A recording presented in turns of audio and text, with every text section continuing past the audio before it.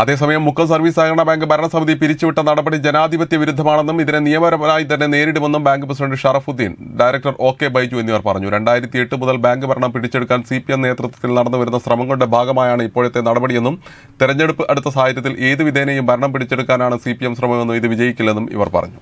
ബഹുമാനപ്പെട്ട joint registrar ഉൾപ്പെടെ ഇവിടുത്തെ സി പി എമ്മിന്റെ പ്രാദേശിക നേതാക്കളും കൂടെ ചേർന്ന് ഭരണസ്വാധീനം ഉപയോഗിച്ച് ബാങ്ക് രണ്ടായിരത്തി എട്ട് മുതൽ ബാങ്ക് പിടിച്ചെടുക്കാനുള്ള ശ്രമം നടത്തി വരികയാണ്.